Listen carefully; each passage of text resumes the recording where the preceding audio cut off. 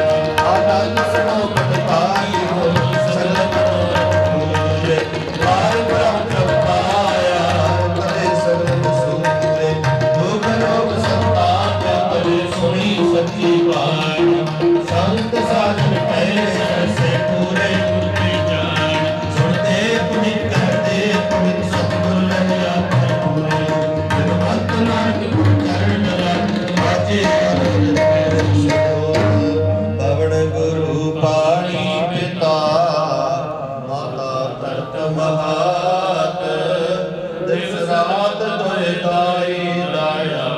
ਇਲੈ ਸਗਲ ਤਕ ਚਲੇ ਆਈਆਂ ਮੁਰ ਆਈਆਂ ਬਾਜੇ ਧਰਮ ਅਦੂਰ ਕਰਨੀ ਆਪੋ ਆਪਣੀ। ਕੇ ਨੇੜੇ ਕੇ ਦੂਰ, ਜਿਨੀ ਨਾਮ ਧਿਆਇਆ, ਗਏ ਮਸਕਤ ਕਾ